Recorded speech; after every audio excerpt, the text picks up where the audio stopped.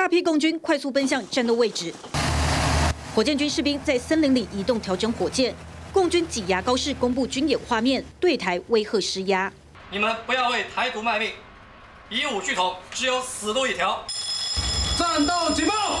二十三号晚间，大陆持续公布第一天军演影片。二十四号上午，共军东部战区又公布了军演模拟动画，交代第二天军演，包括军机、军舰扰台路径，强调进攻、包围、封锁台湾，还有多发虚拟飞弹越过台湾海峡，命中台湾本岛。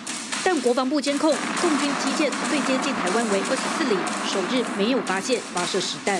一切台独分裂势力，都将在中国实现完全统一的历史大势面前，撞得头破血流。发动大规模围台军演，陆方也加大内外宣传。外交部对国际媒体表示，一切正当必要。对内则是在北京闹区对民众播放军演影片。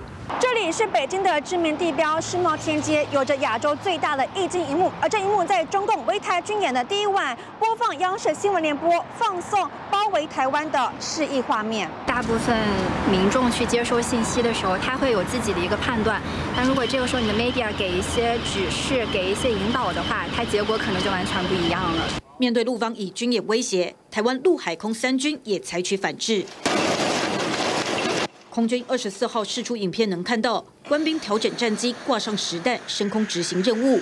另外，P 三 C 反潜机执行警戒攻击任务，侦获江岛级护卫舰、吕阳三型飞弹驱逐舰、海警船多艘共建画面。这也是我方空军首次公布在空监控的视角。海军部分则是派出雷达车、飞弹车以及班超、岳飞、康定、郑和、基隆军舰监控共军军舰。陆军影片秀出军武，强调以实力对抗威胁，捍卫民主自由国土。此外，垦丁国家公园内也看到熊二、熊三各两组飞弹车进驻，现场军事官都实弹警戒。TVBS 新闻综合报道。